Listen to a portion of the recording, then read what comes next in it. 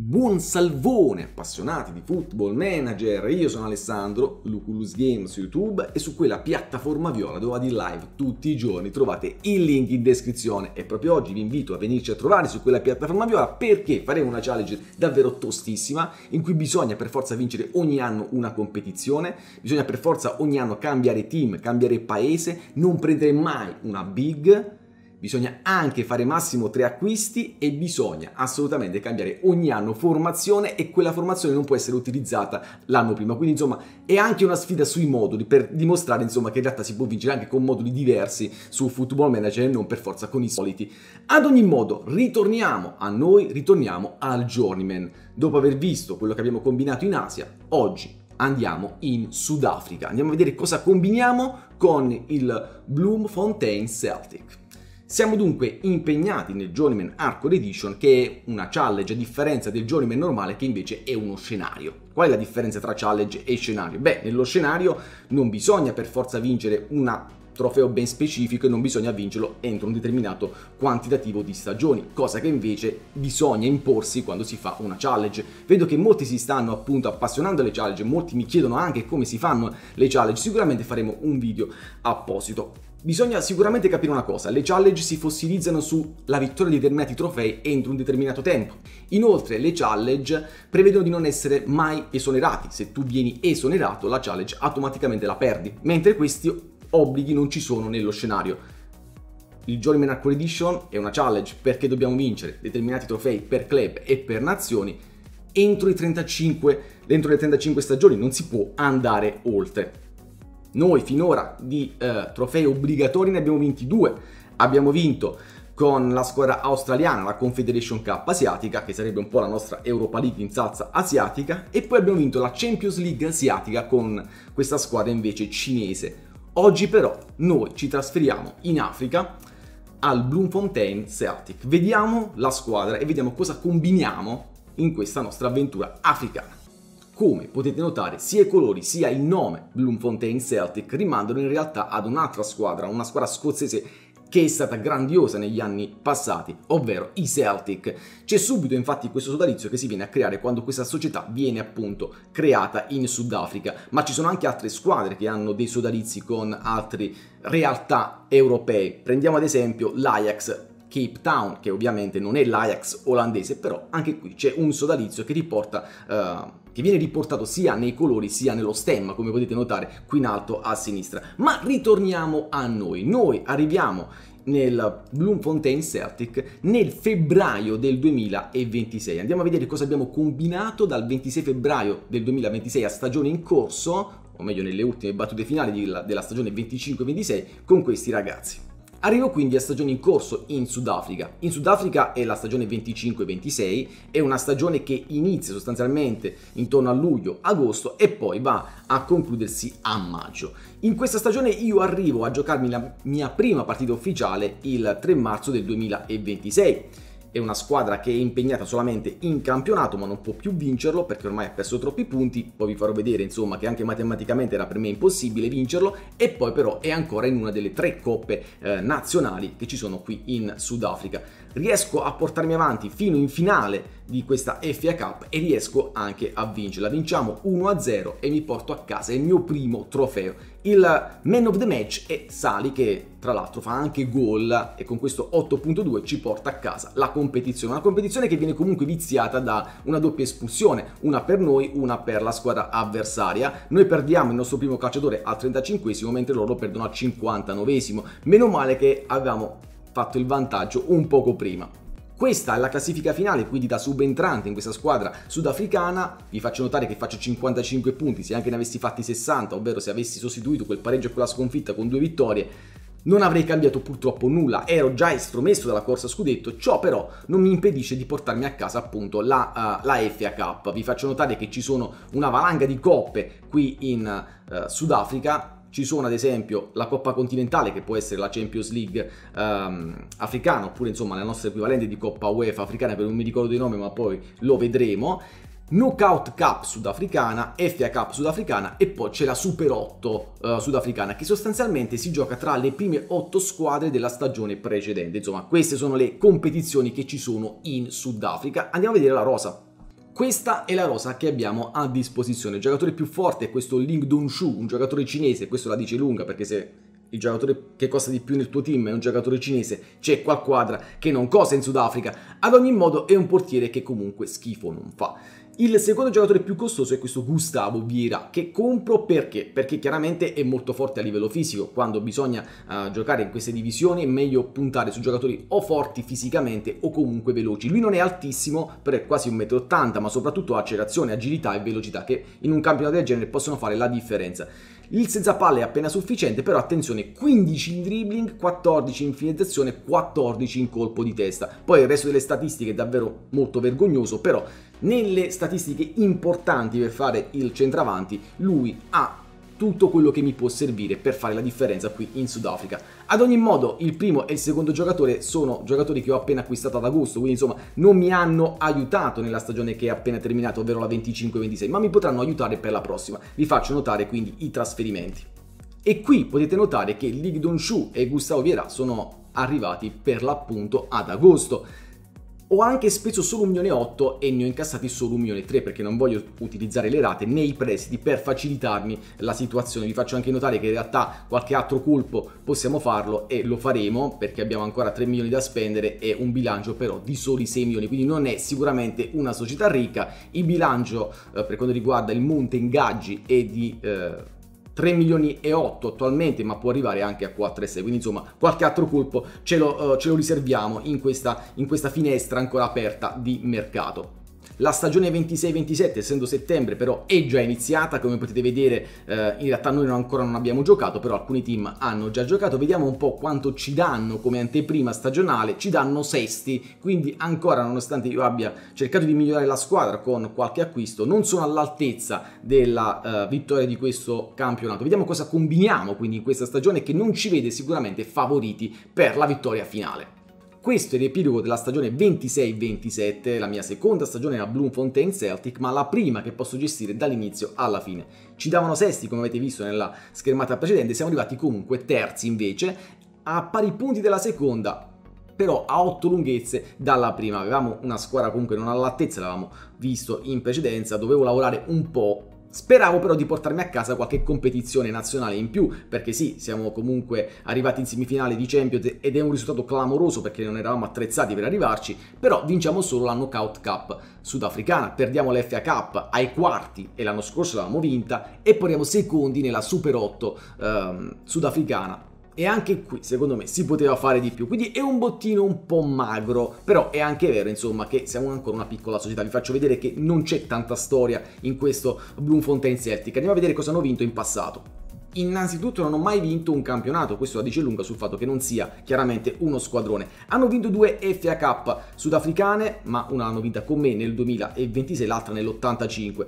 Dopodiché hanno vinto una Confederation Cup, questo è molto importante perché è una competizione che dovremmo riuscire noi a vincere per questo uh, Journeyman Hardcore Edition, ma l'hanno vinta nel 2024, quindi in realtà loro non l'hanno vinta, ma l'hanno vinta solamente durante uh, la simulazione appunto del gioco. Poi hanno vinto due Super 8, una realmente nel 2005, un'altra nel 2025, quindi come simulazione di gioco, e poi due eh, Knockout Cup una vinta con me nel 2026 un'altra in realtà nel 2012 insomma è una squadra che questi sono trofei minori è una squadra che non ha una grande storia non ha una grande tradizione. Siamo a maggio del 2028 e la terza stagione, quella che andremo a vedere adesso, la stagione 27-28, ovvero la seconda che posso gestire dall'inizio alla fine. Qui c'è una svolta clamorosa, passo dal 4-5-1 al 4-3-3, posso mettere il 4-3-3 finalmente perché ho comprato due ali, due attaccanti esterni eh, nel precampionato di questa uh, stagione che andremo a vedere e posso permettermi di eh, mettermi in campo con un modulo simile a quello che poi vi ho presentato su YouTube,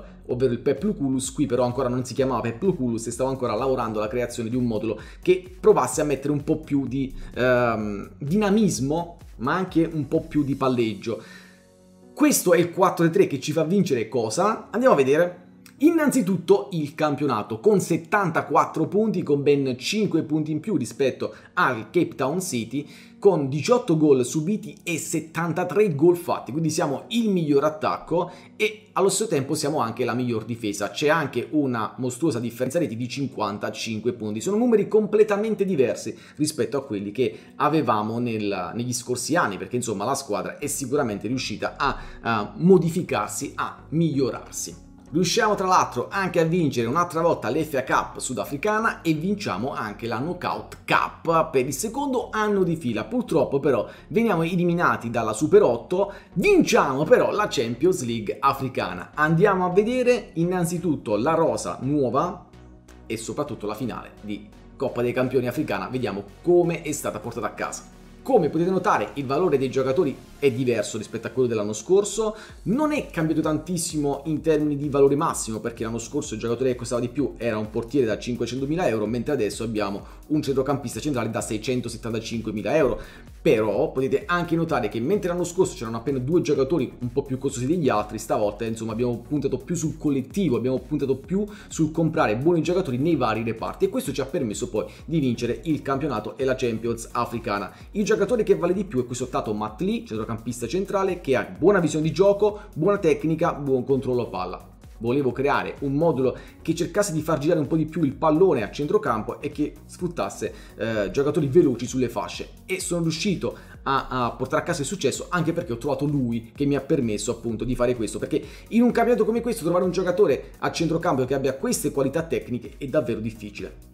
Questo invece è il centravanti titolare che attualmente è in nazionale ed è per questo che non era in formazione ma è lui quello che ci ha portato a ottenere i successi che abbiamo ottenuto, guardate qui 41 presenze, 35 gol in totale. È un giocatore molto agile, molto veloce, si sa muovere senza palla, la tecnica è veramente bassa, questo purtroppo gli ha impedito di fare ancora più gol perché la tecnica è fondamentale insomma quando si va poi al tiro. Però la finalizzazione è molto alta 15 anche il dribbling è molto alto. Abbiamo perso tantissimo sui colpi di testa ma infatti abbiamo creato un modulo, un 4-3 che puntasse soprattutto ai cross bassi e quindi era meno importante che lui fosse forte eh, nei colpi di testa. Comunque è un giocatore più alto rispetto a Gustavo Viera, è alto 1,80 m. Questo è il nostro, eh, diciamo, giocatore più rappresentativo, questa è la rosa della nostra squadra, andiamoci a gustare la finale di Champions League africana la Champions League africana la vinciamo contro gli Orlando che l'anno prima ci avevano eliminato in semifinale di Champions League. Vediamo il gol vittoria su calcio d'angolo. Si tratta di un colpo precisissimo sul primo palo che ci porta intorno al quarantesimo a vincere questa competizione veramente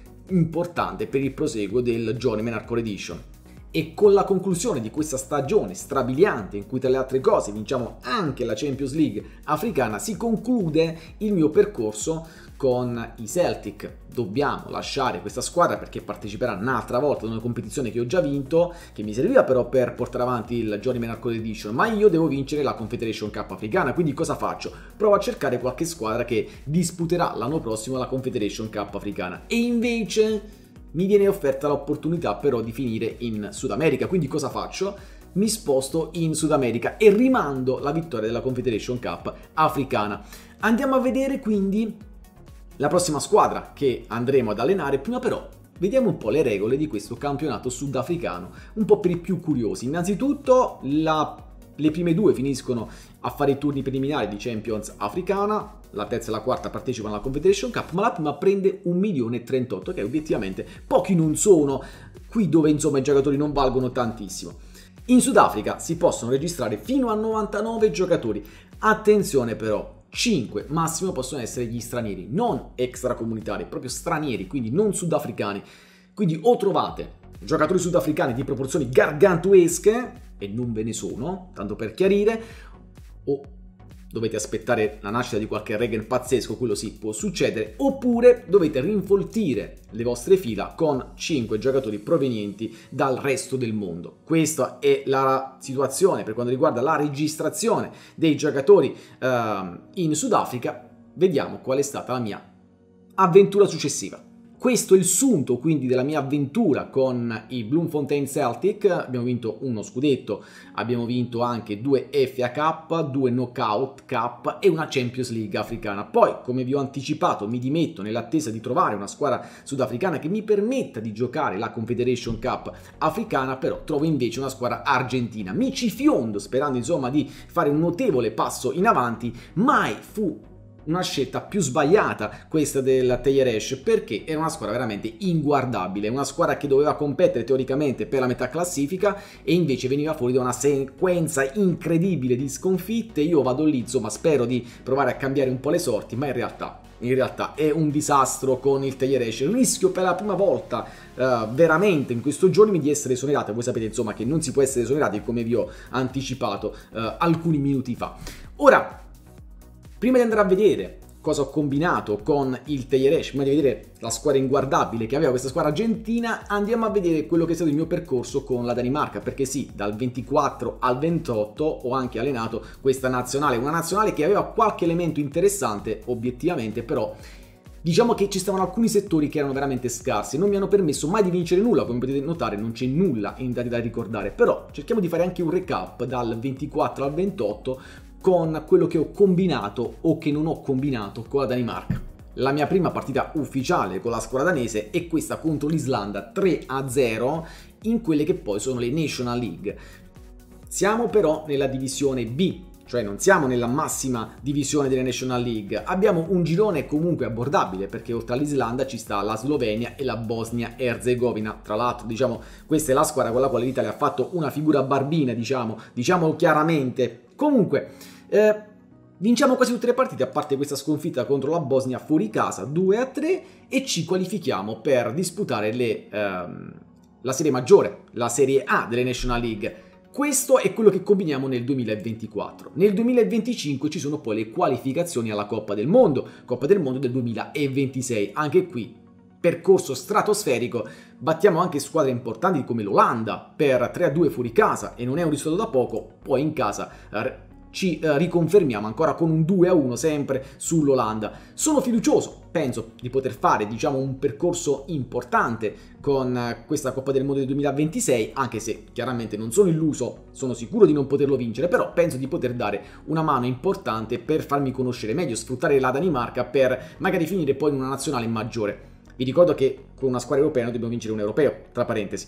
Andiamo avanti, c'è la Coppa del Mondo del 2026. Purtroppo usciamo subito ai sedicesimi contro l'Uruguay. Eravamo partiti così bene in questo girone G di Coppa del Mondo con un nuovo format dove infatti ci sono solamente tre squadre e passano le prime due, quindi diciamo che è semplice passare, eh, bisogna semplicemente non arrivare terzi e sono tre squadre nel girone. Avevamo Senegal e Iran, purtroppo però, ripeto, perdiamo contro l'Uruguay. Andiamo a vedere chi vince la Coppa del Mondo del 2026. Questa è la finale della Coppa del Mondo del 2026, abbastanza strana, insomma, Turchia in finale contro il Portogallo, però vince il Portogallo. Voi sapete insomma che il Portogallo in questo gioco è davvero molto molto forte perché ha un sacco di giocatori giovani davvero che possono fare la differenza nel proseguo degli anni perché diventano davvero fortissimi.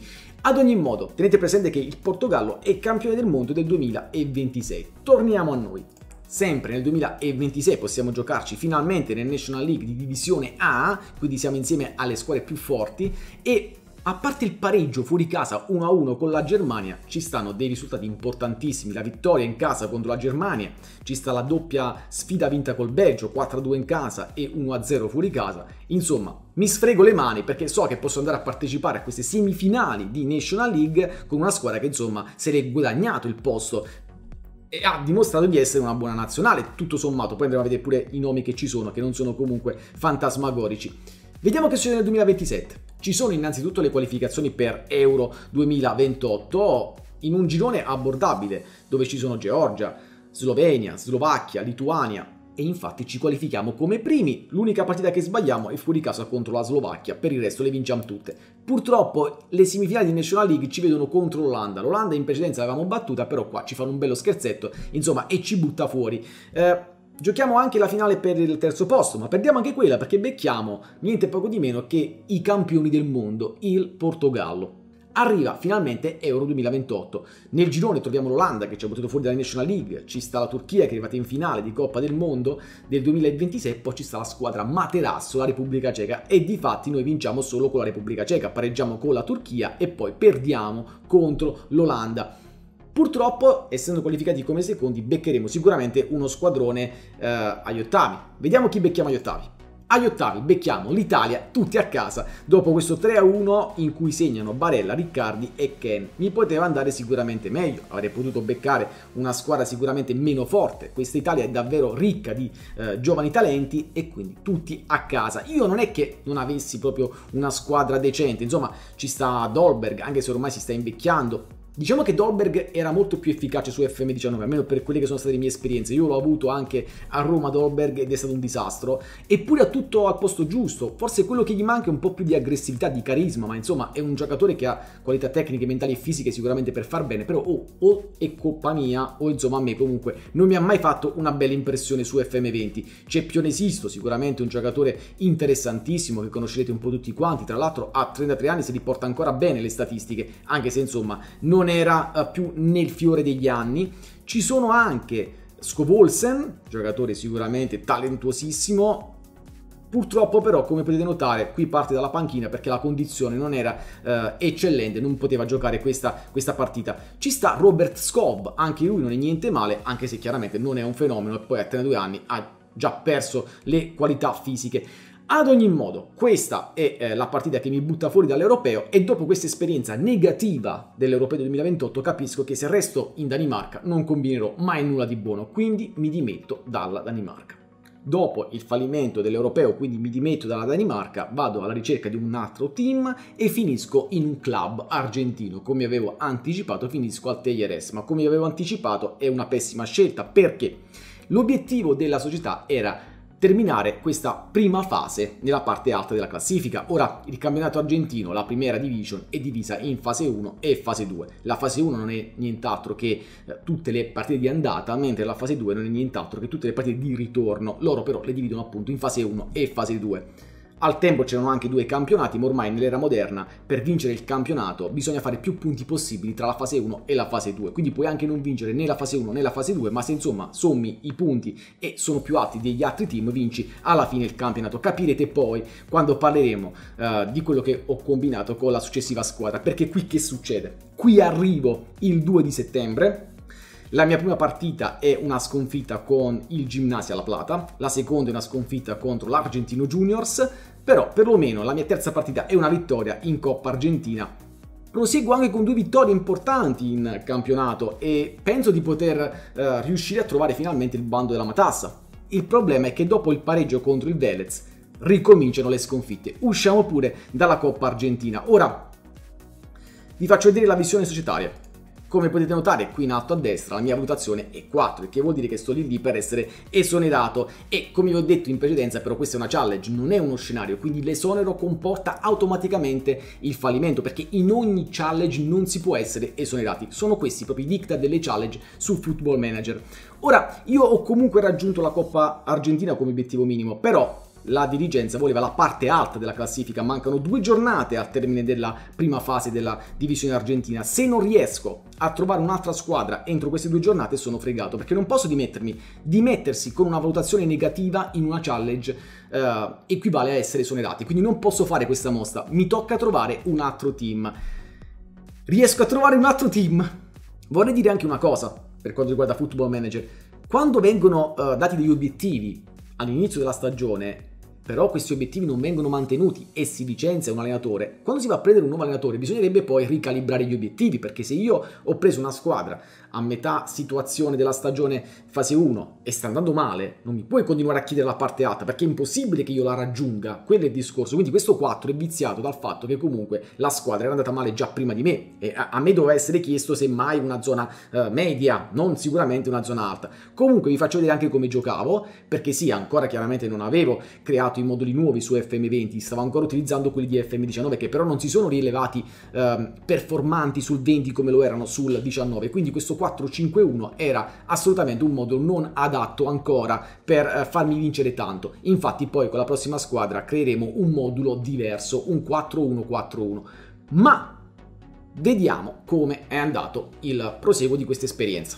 Riesco ad abbandonare il Taglieres il 25-11-2028 perché mi prende l'Atletico Tucumán il 25-11-2028. Ho fatto richiesta quindi all'Atletico Tucumán quando ero ancora al Taglieres e se non mi avessero preso avrei perso la challenge. Ovviamente il journeyman è stato condotto sempre in live, quindi il discorso è che le persone si rendevano conto di quello che stava accadendo, non ci sono mai state partite chiaramente ricaricate, non c'è mai stato alcun trucco, non c'è stato mai nessun imbroglio, anzi stavo lì lì per perdere appunto per la mia prima volta una challenge male, perché insomma eh, non ero mai stato esonerato su Football Manager da quando ci gioco, quindi dall'edizione 2002-2003. Ad ogni modo mi salvo veramente in calcio d'angolo e finisco al Tucumán. Quello che combino a Tucumán però non ve lo faccio vedere adesso perché lo vedremo nel prossimo video quando parleremo della mia esperienza totale in uh, Sud America. Vediamo invece quello che combino con la Costa d'Avorio perché tra il 31-12-2028 e il 12-8-2029 sono anche commissario tecnico della Costa d'Avorio. Vi ricordo che con la Costa d'Avorio io devo provare a vincere una Coppa uh, d'Africa perché tra gli obiettivi del Journeyman Hardcore Edition c'è da vincere anche una Coppa d'Africa con una squadra africana. Vediamo il nostro percorso.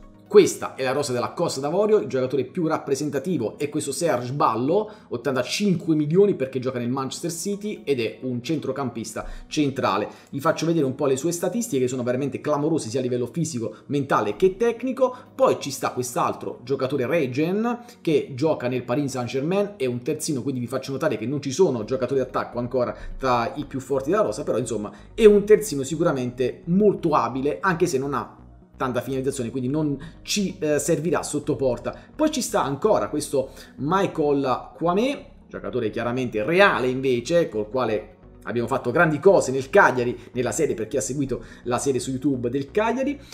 Finalizzazione bassa però, questa è la punta titolare della squadra, però la finalizzazione è un po' bassa, però fisicamente sta messo molto bene, anche mentalmente poi il quarto giocatore più rappresentativo è Frank Kessie, ovviamente grandissimo centrocampista che sa tirare anche i rigori, quindi insomma abbiamo un'arma in più. Questa è la rosa che ci porta a fare cosa? Vediamo. La mia prima partita ufficiale con la Costa d'Avorio è la prima partita della Coppa d'Africa. Perdo anche 1-0. Viene espulso al 62esimo il signor Gueli e poi, guarda caso, due minuti dopo l'espulsione segna il Burkina Faso con Traoré e perdiamo la nostra prima partita. Comincio a vedere gli spettri della Danimarca, insomma, comincio a, essere, comincio a pensare di essere un po' sfigato con le nazionali. Riesco comunque a qualificarmi come secondo, il Burkina Faso si qualifica come prima a punteggio pieno perché batto comunque Zimbabwe e Libia, passano le prime due di ogni girone più le migliori terze. Andiamo a vedere gli ottavi. Questi sono gli ottavi, noi riusciamo a superare 4-0 il Camerun in una partita veramente stratosferica della Costa d'Avorio, segna tripletta. Bayo che come potete notare comunque non è sicuramente un fenomeno. Ai quarti becchiamo il Sudafrica, vinciamo per 1-2 con reti di Ballo e Kwame, quindi per un solo gol riusciamo a superare il Sudafrica che addirittura era passato in vantaggio perché al diciottesimo segna loro, poi noi al diciannovesimo pareggiamo subito e poi segniamo al 44esimo. Dopodiché ci tocca vedere cosa combiniamo in semifinale. In semifinale passiamo con un rotondo 3-1 contro il Senegal, Senegal che è una bella nazionale insomma, quindi facciamo davvero una bella impresa. Segna tripletta Kwame. Questa è la partita di Kwame che ci porta in finale. Vediamo cosa combiniamo in finale. In finale battiamo 4-0 niente poco di meno che la Nigeria di Osime. Vediamoci questi 4 gol. Tutto inizia quindi al sesto minuto con il rigore di Chessy. Gustiamoci quindi il rigore di Chessy che non spiazza il portiere, ma comunque la tira bene e il portiere non ci può arrivare. Poi ci sta un'azione eh, regalata di Aribo palla regalatissima, batti e ribatti furibondo e poi il mitico Cornet riesce a mettere in gol. Siamo stati fortunati con questo secondo gol, lo ammetto. Terzo gol, c'è una palla inattiva e Baio sovrasta il difensore centrale, poi per il quarto gol ancora un regalo stavolta di Aina che la mette così al centro di E la passa a Kwame, da lì non può sbagliare sicuramente e vinciamo 4-0. Rotondissimo risultato clean sheet in finale e vinco la Coppa d'Africa. In questo episodio, come avete visto, ho vinto due competizioni fondamentali per il Journeyman Hardcore Edition, ovvero la Champions League africana e la Coppa d'Africa con la Costa d'Avorio. Questa è la mia situazione come allenatore, queste sono le mie statistiche, ho già 20 in motivazione, quindi sono cresciuto nel corso del tempo, ho raggiunto già da un pezzo il patentino massimo, siamo ormai al 2029, quindi insomma sono passate anche diverse stagioni, vediamo come sono messo nell'albo d'oro e poi andiamo a vedere il recap della, dei trofei che ho vinto. Alla decima stagione ho appena 919 punti, nonostante abbia vinto 6 campionati, 10 coppe nazionali, 3 trofei eh, continentali e uno internazionale, che sarebbe appunto la Coppa d'Africa. È un po' poco perché chiaramente il punteggio risente della reputazione eh, dei campionati per club che non sono ancora eccezionali. Vi faccio però notare che ho vinto 6 campionati su 10 stagioni disputate, non sono pochi, superare il 50% tra uh, stagioni disputate e stagioni vinte è tanta roba, perché si arriva anche a stagioni in corso e chiaramente non si può pretendere di vincere subito, quindi nonostante abbia cambiato tante squadre, ho vinto già tantissimo, sto andando molto bene rispetto al journeyman fatto nel 2019 e questo journeyman è ancora più difficile. Andiamo a vedere il recap delle pietre miliari. Questo è il recap delle pietre miliari, questo è il nostro percorso con il Celtic, quello sudafricano, poi questa è la nostra parentesi con il Tejeresh dove ce ne siamo assolutamente scappati, con la Danimarca non abbiamo vinto nulla, col Tucumán ancora non vi faccio vedere cosa ho vinto, con la Costa uh, d'Avorio abbiamo vinto la Coppa d'Africa. Siamo arrivati quindi al termine di questo secondo episodio del Journeyman dove abbiamo rischiato veramente tanto in diretta perché questo è un Journeyman condotto appunto interamente in live. Abbiamo rischiato di perdere la challenge col Tagliares, ma alla fine siamo riusciti comunque a mantenere il punto e abbiamo anche vinto tante tante tante competizioni. Io vi lascio qui, vi ricordo che tra pochi giorni uscirà anche l'episodio 3 con tutto quello che avremo combinato in Sudafrica. Se avete chiaramente delle curiosità, mi raccomando, scrivetele nei commenti e non vi perdete nemmeno le live. Mi raccomando, da lunedì al venerdì si va sempre in live su quella piattaforma viola dalle 20.30, mentre il sabato e la domenica si va in live dalle 17. Quindi vi aspetto oggi alle 17 con una challenge davvero difficilissima. Buon salvone, buon proseguo di giornata, al prossimo video di FM20.